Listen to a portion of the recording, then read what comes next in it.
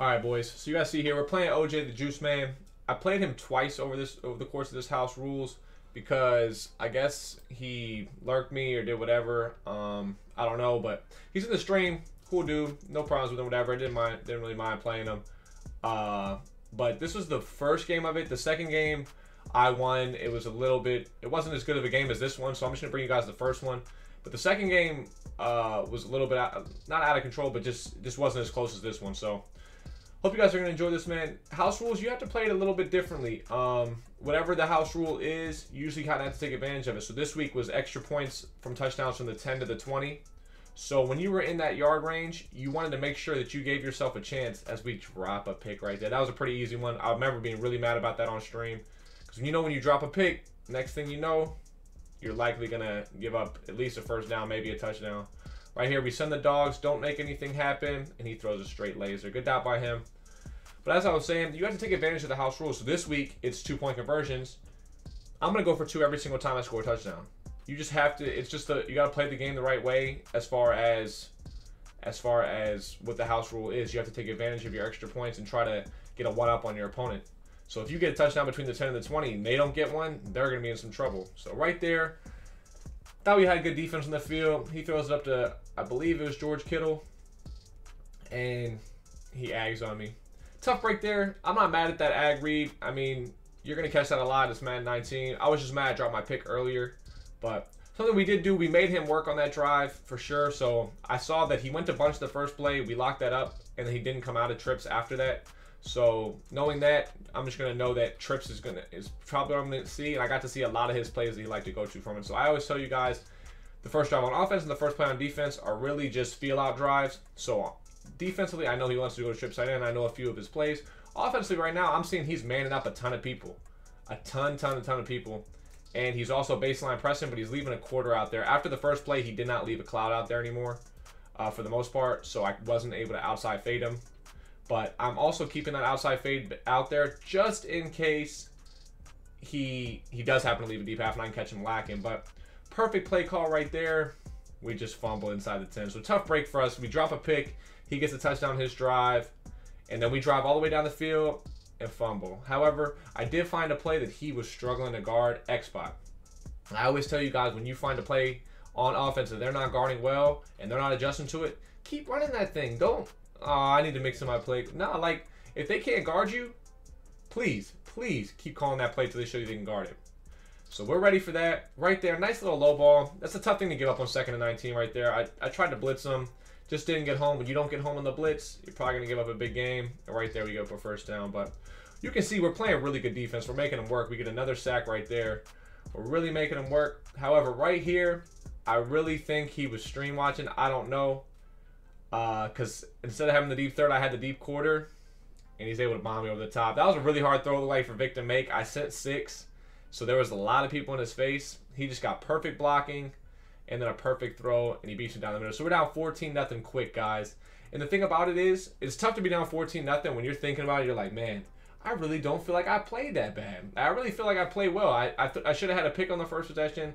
I got two sacks on his next possession and forced him into second and 19 and second and 16 and I and he ended up getting a touchdown on both those drives. So it's just it's like man, uh, that's usually a little bit demoralizing. Now I was staying locked in because I was like, you know what, man, like I just gotta keep doing what I do. And right here, we throw the wheel route laser, big time touchdown and get that back, guys. Huge. He, he took his uh he took his deep blue away but didn't blitz so I had all day in the pocket. It gets over the cloud and we throw a wheel for a touchdown. That was a good late read right there. I had a lot of time in the pocket. I'm just kind of looking around for somebody to get open and the wheel route ended up being a touchdown. So huge play to kind of get back in. As I was saying, it was demoralizing to be down when I felt like I've been at least playing him evenly, if not outplaying him. So tough thing to go through right there, but to get that back was huge before halftime. Now it's 14-7. We have to make sure to not give up any points. And right there, I don't know what I was doing. My lurk really sleepy. Everything was boxed. He was getting ready to get sacked, and I just give him a, a crosser, which probably would have been a pick had I not stopped using it. So Right here, he throws right at us with Jamal Adams. You see me in the screen. I'm yelling at it. Super, super annoying. Um, but uh, we we don't get the pick, and he's now in field goal range. So this is huge. If we give up three here, it's going to be rough because we're going to be down two possessions.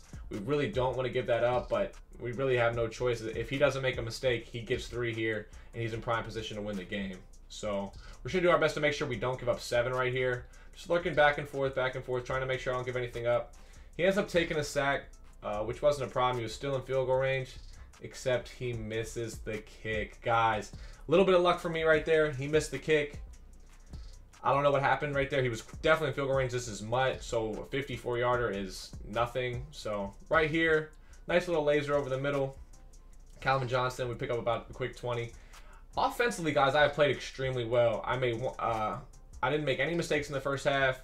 I just had the one fumble inside the 10, and outside of that, I've played perfect. Right here, he plays good defense. We just hit our in route late. Uh, we happen to have time in the pocket. Not bad adjustments right there by him, but when you just get that much time in the pocket, something's usually going to come open for you. That's why I've I've started sending a lot more pressure this year. And right there, that was my first bad read of the day. Really frustrating to make that read inside inside field goal range. Definitely something I can't do, especially when I felt like I was really starting to take back over the momentum. But what I was saying was was that if you have um, if you have too much time in the pocket, you're going to you're going to be able to find something open, even if you play perfect defense, which is why I've really started sending a lot more pressure at people. As you can see right here, I'm sending the dogs with this kid for the most part. Because if you, even if you play the perfect adjustments, if they get all day, they're going to find something open. It's just the fact of the matter is that this game, the routes will come back to you and get open. So you can't just send three, send three, send three, send three, and expect to win unless you're playing somebody that doesn't really know what they're doing. So you got to at least mix in some pressure once every three downs, I'd say. I, have been sending it more probably two out of three, but that's something new that I've been doing. I used to send a lot less pressure this year since I got out of 335 odd. When I was a 335 odd, you were getting pressure every single play pretty much. But once I once I changed to 335, the meta really became sending uh, less pressure and sending more just cut like coverage defense. But I feel like you need to send pressure right now, just the way the game is playing. At least at least two out of three downs at least one out of three, but I try to send it two out of three, excuse me. So right here, try to catch him lacking really. Um, and we really we really didn't get anything and we just throw it up and Odell just makes plays. He he played good defense right there. I tried to catch him deep. Didn't get anything, but I tell you guys, I always I always preach good players to you guys in MUT. If I think a player's really good, I'm going to tell you I think he's really good. Odell Beckham is the best receiver in this game. He catches everything in traffic. He catches ags. He has over 90 break tackles, so he breaks tackles. He has a really good quick spin. Everything he does is really good in this game, man. So if you guys don't have Odell Beckham, make sure you guys check him out. Now, here's what I'm thinking in this game. I'm down 14-7.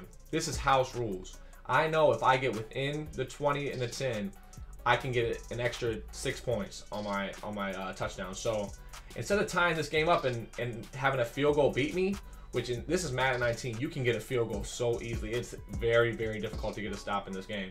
So I'm thinking, you know what? I really kind of need this this 13 points right here. I, I don't think seven's going to cut it.